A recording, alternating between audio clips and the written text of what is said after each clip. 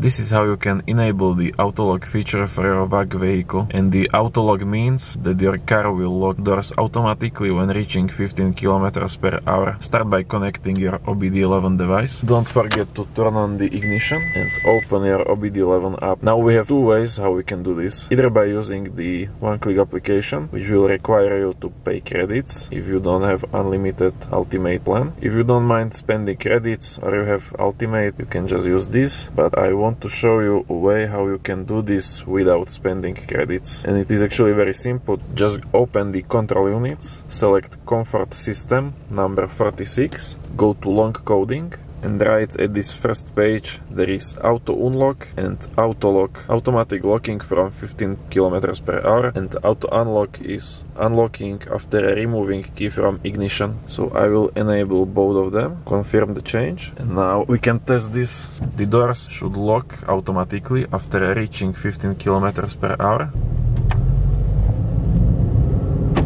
Okay there is the lock. It is working and it should unlock automatically when I remove the key.